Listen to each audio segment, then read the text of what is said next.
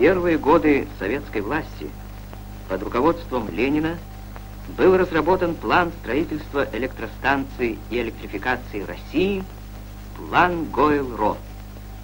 Владимир Ильич назвал этот план второй программой партии.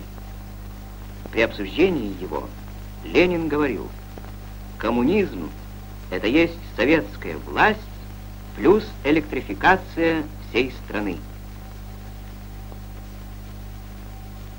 Современное производство невозможно представить без электрических двигателей, приводящих в действие различные станки, устройства, автоматические линии.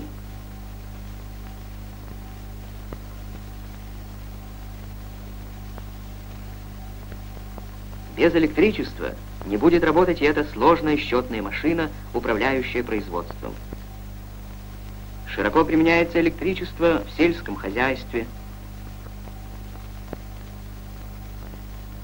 на железнодорожном и городском транспорте. Сегодня электричество — постоянный спутник человека. Фабриками электрической энергии являются электростанции. Первенец Гойл-Ро, Волховская ГЭС, имел мощность всего 66 тысяч киловатт. А сооруженная в послевоенные годы Волжская гидроэлектростанция имени 22-го съезда КПСС обладает мощностью в 2 миллиона 500 тысяч киловатт. Основные типы электростанции – гидравлические и тепловые. На тепловой электростанции электроэнергия получается из энергии, заключенной в топливе. Вот основные части тепловой электростанции. Топливный склад и устройство для размельчения угля – паровой котел и турбина с генератором.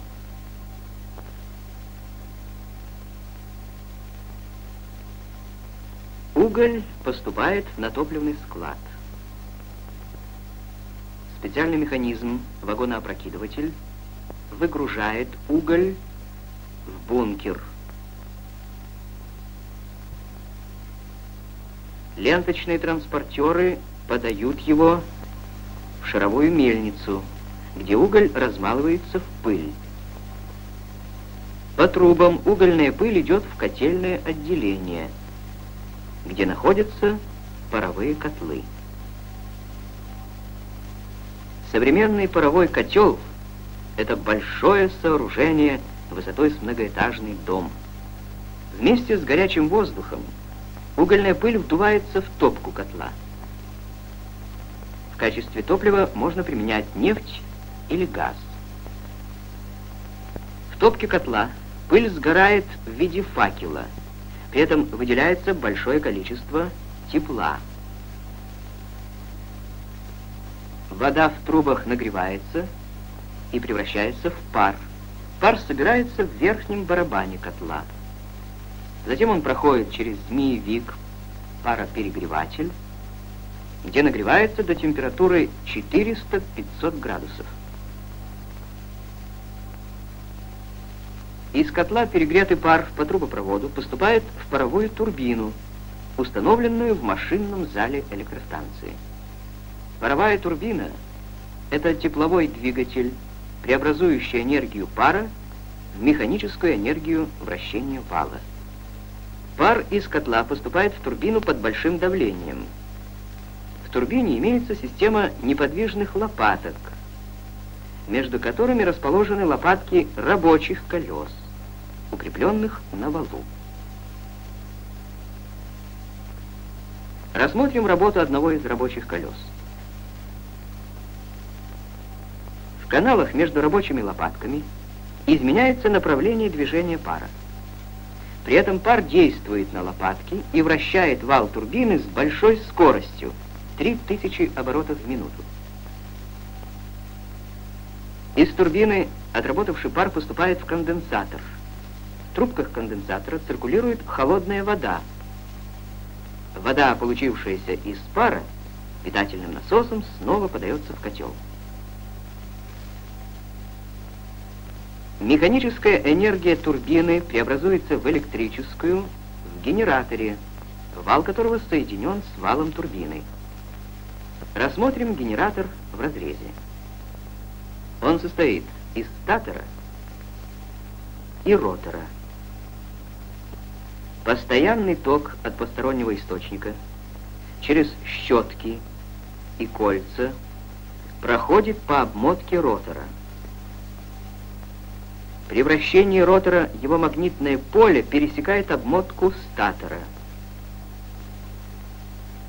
В обмотках статора индуктируется переменный электрический ток большой мощности. Этот ток поступает на повышающую подстанцию. В соответствии с законом сохранения и превращения энергии, электростанция не создает энергию. Она лишь преобразует заключенную в топливе химическую энергию в энергию пара, которая в свою очередь превращается в механическую энергию и затем в электрическую энергию. Коэффициент полезного действия тепловой электростанции составляет примерно 25%. На крупных советских электростанциях работают турбины мощностью 150-200 тысяч киловатт. Созданы турбины мощностью 300 тысяч киловатт. Мощные генераторы дают ток в десятки тысяч ампер при напряжении порядка 10 тысяч вольт. Тепловые электростанции обычно сооружаются там, где имеются запасы топлива, каменный уголь, газ, торф. Электроэнергия передается по проводам к потребителям на сотни километров. Поскольку мощность тока равна произведению силы тока на напряжение, то при малом напряжении сила тока будет очень значительной. Провода сильно нагреются. Это приведет к большим потерям энергии. Чтобы сократить потери энергии, можно было бы уменьшить сопротивление проводов, увеличив их сечение но тогда пришлось бы израсходовать большое количество металла. Как же этого избежать? Нужно снизить силу тока, увеличив во столько же раз напряжение. Потребуется только обеспечить лучшую изоляцию проводов. Для преобразования тока и напряжения применяются трансформаторы. Они повышают напряжение и, соответственно, уменьшают силу тока. Мощность же тока остается неизменной. Для дальних электропередач применяется напряжение до 500 тысяч вольт. Ток высокого напряжения по воздушным линиям передается к месту потребления. Здесь ток поступает на главную понижающую подстанцию, где его напряжение с помощью трансформатора уменьшается до 6600 вольт.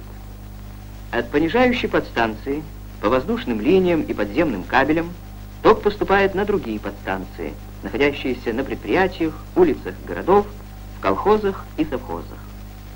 Тут напряжение еще раз снижается с 6600 вольт до величины, применяемой в быту и на производстве.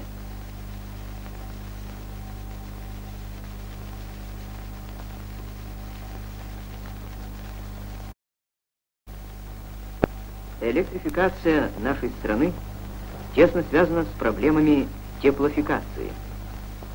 Для отопления жилых домов, производственных помещений, колхозных и совхозных теплиц требуется много тепла. Оно может быть получено от теплоэлектроцентралей, ТЭЦ. Это электростанции, которые наряду с электроэнергией отдают значительную часть тепла расположенным поблизости потребителям. Подогрев воды, отпускаемой ТЭЦ для отопления и бытовых нужд населения, производится в специальных пароводяных подогревателях.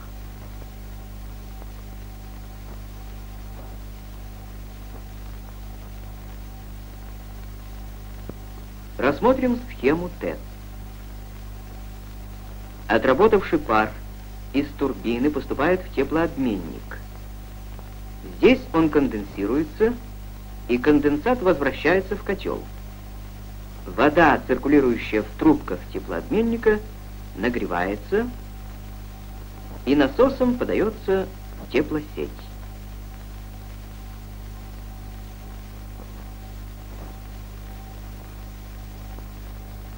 Большое внимание уделяется в нашей стране сооружению гидроэлектростанций.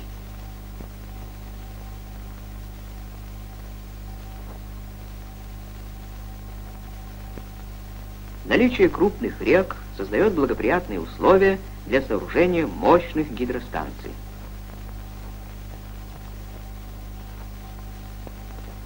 На этой карте показана водоносность крупнейших рек – гидроэнергетические ресурсы Советского Союза составляют 420 миллионов киловатт.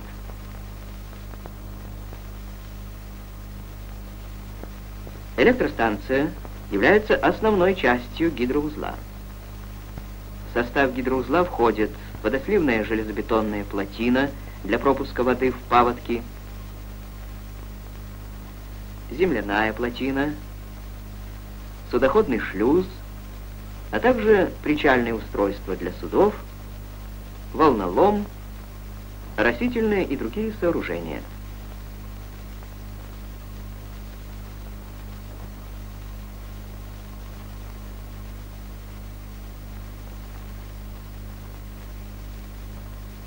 Плотина, сооружаемая поперек реки, делит ее на верхнюю часть верхний Пьев, где накапливается вода,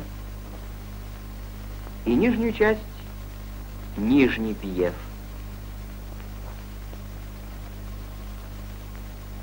Разность уровней реки между верхним и нижним Пьефами образует напор, создаваемый плотиной и используемый турбинами. Задержанная плотиной вода проходит по каналу в спиральную камеру, охватывающую рабочее колесо гидротурбины. Из спиральной камеры вода с большой скоростью поступает на лопасти рабочего колеса гидротурбины и вращает его. С валом турбины соединен вал ротора генератора.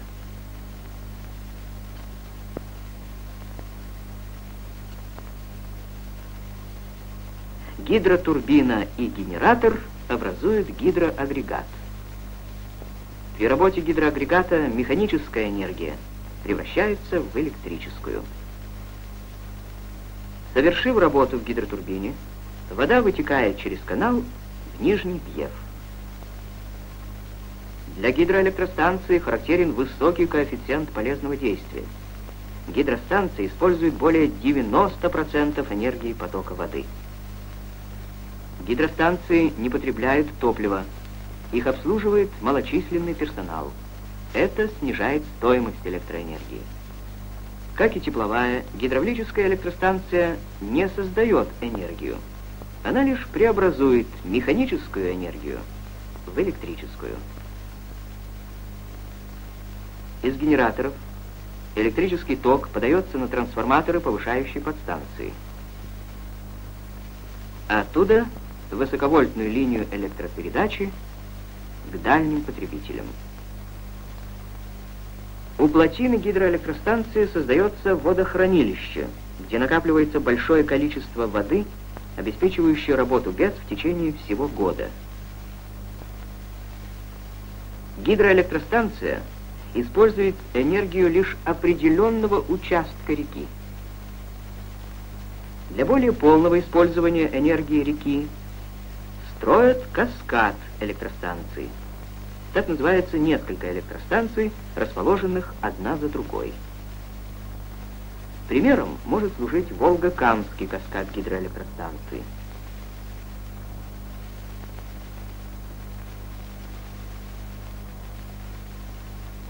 После ввода в эксплуатацию новых гидростанций Волга и Кама будут давать свыше 50 миллиардов киловатт-часов в год.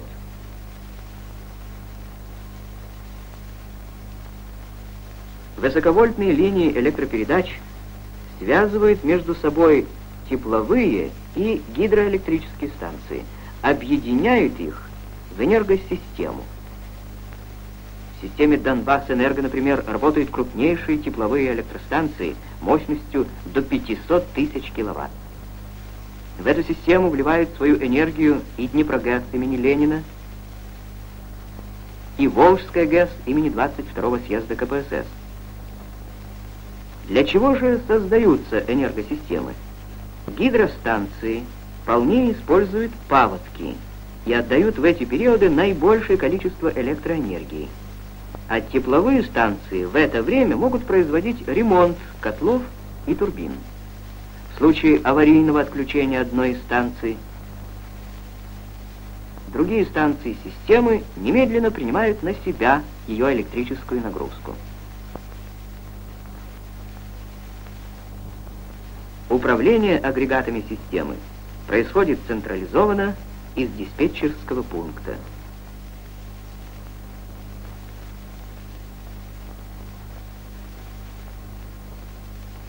После пуска двух сверхмощных гидростанций на Волге была создана единая энергосистема европейской части Советского Союза.